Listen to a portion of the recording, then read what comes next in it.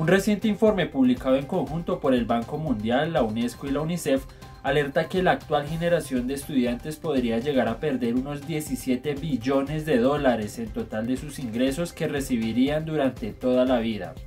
Esto como consecuencia del cierre de las escuelas vinculado con la pandemia de COVID-19.